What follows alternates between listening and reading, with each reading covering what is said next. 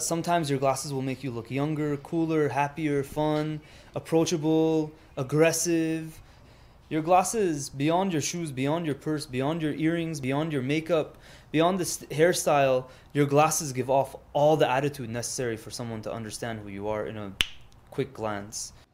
Eyeglasses used to be a vision necessity. Now they're functional and fashionable. But the troubled economy has caused people buying glasses seeing money signs.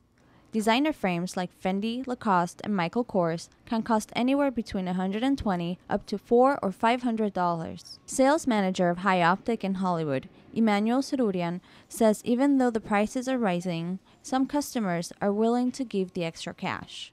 In a very short amount of time, I saw a big switch in customers buying non-designer to now exclusively wanting designer stuff. They're willing to spend the money uh, it's just a credit card swipe away for them. Robert Bilheimer has been wearing glasses for 25 years and usually spends anywhere between 180 to 400 dollars. One of the things I really want to spend money on, if I'm going to spend money on something, is a nice pair of glasses. I think it makes a big difference. I like the way they look on me. I just like the presentation. I think it's important. Eyeglasses are becoming a major trend. Jay Z popularized one of the most high end fashion brands in his recent album, Magna Carta Holy Grail. Tom Ford.